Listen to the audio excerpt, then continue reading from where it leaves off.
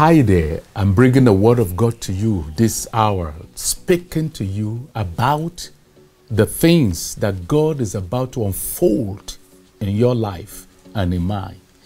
I'm talking about obstacles that needs to be uprooted. God's word says something. It says, Whatsoever my Father has not planted, Jesus said, it shall be uprooted.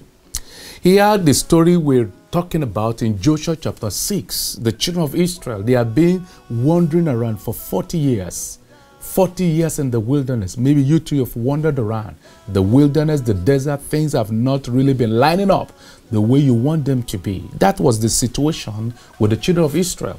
They were tired, they were wearied, they were desperate. And it was just the last leg for their journey.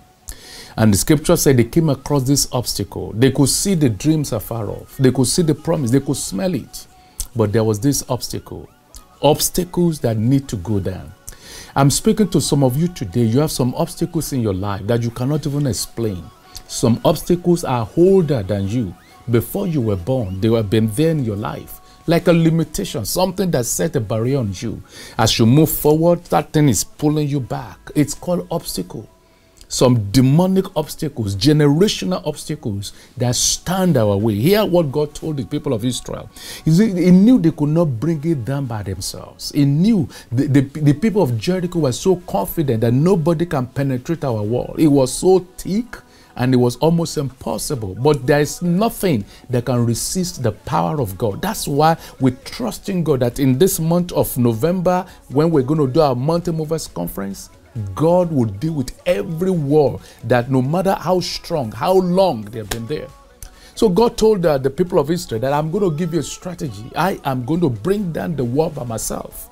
But you need to cooperate. You need to follow the leader. So the Bible says he asked them to, to, to march around the, uh, the city once every day. And they were to do that seven times on the seventh day. And the scripture said in verse 20 So the people shouted when the priest blew with trumpets. And it came to pass when the people heard the sound of the trumpet, and the people shouted with a great shout, that the wall fell down flat. The wall will come down by the power of the Almighty God. But I want to say to you that there are powers behind the world that has to be dealt with. The world you are fighting, you are facing, they may not just be physical, they may not just be things you can explain. The barriers that sit on you, the, the restraint around your destiny, they are not physical. The Bible says they, they, they, we, we have a weapon that is mighty through God to pull pulling down stronghold, casting down imaginations forces of hell that gather against us. I have this word for you as we prepare ourselves, as we get ourselves ready, they will be uprooted. Uprooted because God did not plant them. So I want you to mark your calendar November 20 to 24th. We have uh, Bishop Mark Jones coming in, Apostle Tom coming in, and we have uh, uh, ministers in music. We have people who are going to be praying. This is going to be a very good time. We're going to pray, believing God for seven kind of wall that's going to fall down. I will tell you about that later on. Seven kinds of wall that God is going to pull down during this particular service and program.